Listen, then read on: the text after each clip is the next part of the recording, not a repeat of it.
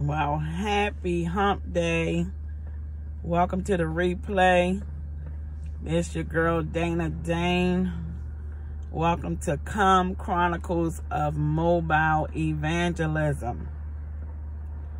Today I'm going to start with letting you all know that this channel comes to let you know that according to Proverbs 30, I mean 11, according to Proverbs 11, verse 30, part B, he that winneth souls is wise. So let's go to the word wise and look at the Strong's definition. He that winneth souls is intelligent, skillful, cunning, subtle. Okay? Shrewd. Right. Skillful. So, this broadcast is designed for me to share with you uh, encounters that I've had in the area that I function, which is ride share, with my customers who the Ruach Kodesh, the Holy Spirit, um, is given permission through my spirit and through my will being surrendered to him to actually engage folks in um, winning their souls to the kingdom. Be it me speak a word in season, be it me minister through prayer um, for these souls. Sometimes I pray for people, they don't even know they're being prayed for. I've had times where the Ruach Kodesh has, I have a list of names of people that I pray over um, over the years of doing this. I still have their names in my Bible and I pray for them. Um, situations that they have shared with me. Um, but I want to start this broadcast off by saying that evangelism, once you have become a son of the Most High, evangelism is the mandate on your life above everything else is to win souls to the kingdom of the Most High. So today I want to start off with Psalms 25 because today is the 25th. And I think I shared prior to um, this broadcast that my dad gave me a nugget of wisdom years ago about how to, in my early days of getting to know the Most High through his son, Yahushua HaMashiach, who the world has told us name is Jesus, um, that a good way to get into his word was to read a Psalms, chapter of Psalms, and a chapter of Proverbs every day. There's 31 Proverbs, so that's easy. And Psalms is uh 150. So, I mean, it's inexhaustible. So, I um want to read Psalms 25. This is a Psalm of David. Unto thee, O Yahuwah, do I lift up my soul. O my Alua, I trust in thee. Let me not be ashamed. Let not mine enemies triumph over me. Yea, let none that wait on thee be ashamed. Let them be ashamed which transgress without cause. Show me thy ways, O Yahuwah. Teach me thy paths. Lead me in thy truth and teach me, for thou art the allure of my salvation. Allure means creator. On thee do I wait all the day. Remember, O Yahuwah, thy tender mercies and thy loving kindnesses, for they have been ever of old. Remember not the sins of my youth, nor my transgressions. According to thy mercy, remember thou me for thy goodness sake, O Yahuwah. Good and upright is Yahuwah. Therefore will he teach sinners in the way. The meek will he guide in judgment, and the meek will he teach his way. All the paths of Yahuwah are mercy and truth, unto such as keep his covenant and his testimonies. for thy name's sake. And there it is. For thy name's sake. Verse 11. O Yahuwah, pardon mine iniquity, for it is great. I'm going to repeat that. Psalms 25 verse 11. For thy name's sake, O Yahuwah, pardon mine iniquity, for it is great. What man is he that feareth Yahuwah? Him shall he teach in the way that he shall choose. His soul shall dwell at ease, and his seed shall inherit the earth. The secret of Yahuwah is with them that fear him, and he will show them his covenant. Mine eyes are ever toward Yahuwah, for he shall pluck my feet out of the net. Verse 16, Turn thee unto me, and have mercy upon me, for I am desolate and afflicted.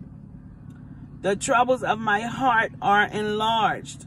O bring thou me out of my distresses. Look upon mine affliction and my pain, and forgive all my sins. Consider mine enemies, for they are many, and they hate me with cruel hatred. O keep my soul and deliver me. Let me not be ashamed for I put my trust in thee. Let integrity and uprightness preserve me, for I wait on thee. Redeem Yasharal, and I'm going to put my name in there. Redeem Dana, O Alua, out of all my troubles. And may the Father add a blessing to the reading of his faithful, holy, and righteous word. Let it be so. So today I want to share uh, encounter I had with a gentleman yesterday. Um, Mr. B is who I'm going to call him. And it was a very long ride from one side of the city to the other. And we encountered some traffic on the Beltway. So there was a lengthy time. And Mr. B um, is a truck driver. So I was picking him up from where he, the company that he worked for. And of course, the conversation piece is the car. And I thanked him. And um, as we were riding along, I noticed his accent, so I knew he wasn't from Baltimore, and he shared with me that he was from um, up north. I'll just say that. The cities up up north, one of the cities up north. And how he had left his family up north and came here and married his wife and started sharing some things that he was currently dealing with. One of which was um, homelessness. They had been evicted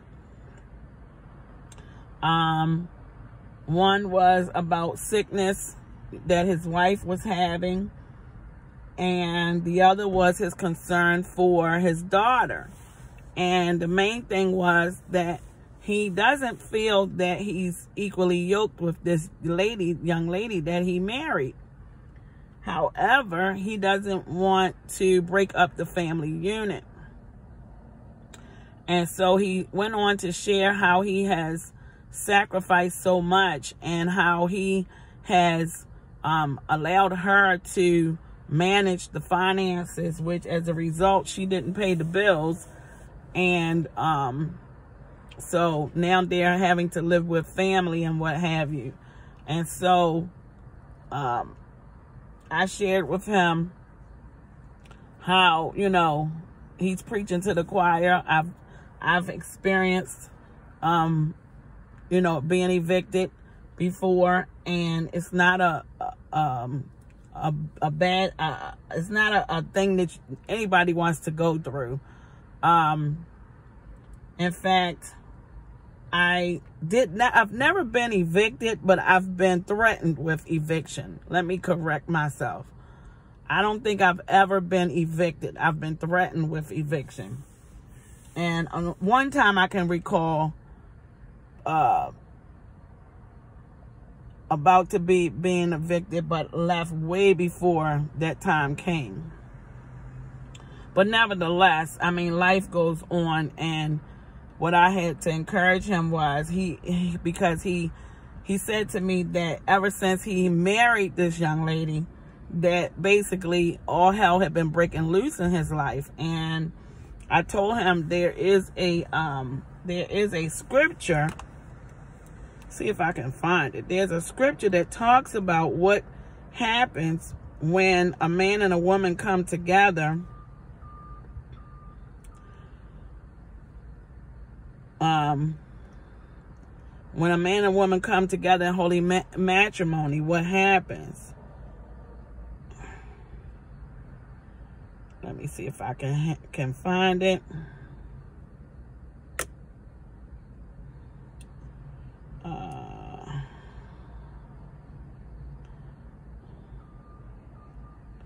Let's see.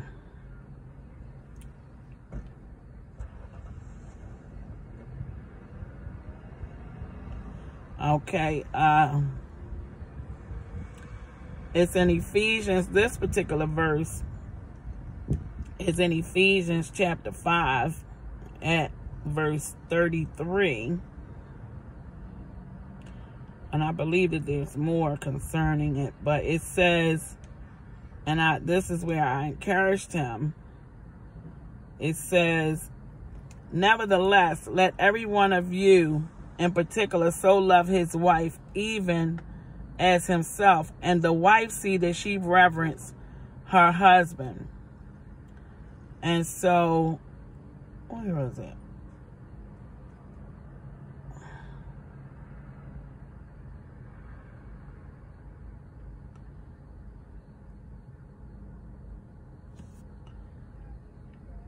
But there's a scripture that says that when you marry, trouble comes. And so I was telling him that, you know, the key is that um, prayer and intercession has to be done in order to mitigate or extinguish the fiery darts of the enemy because marriage is of the most high and that's why the enemy has perverted as, as such. And um, I know you can't help who you love before I get that but the intention of marriage was from an institution of a ma male and female okay?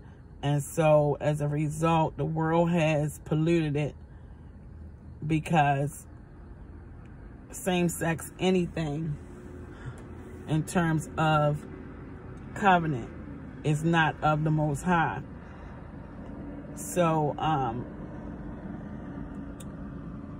the gentleman was very ambitious and he basically is torn between what to do about the circumstances surrounding the challenges that he is facing as far as keeping uh, shelter over his head, um, showing up and being the father that he needs to be to his children that he had with her and the children that she had prior to them coming together. And so, um, the one thing that I really respected about him is that he was talking about the decisions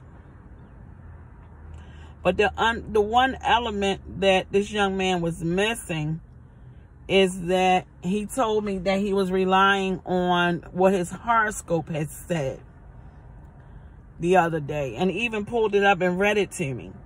And I thought about him this morning when I read this scripture. You know, this this passage of scripture, this whole chapter of Psalms 25. The horoscopes can't save your soul. And just look at the, think about the name, horror scopes. The scope of horror in your life. Because it's not of the Most High. It is of Hasatan, the Satan, the adversary. And so we have to be careful of the counsel that we receive that the world wants to give us. Because the enemy is after one thing in your life, and that is what you say you believe. And so,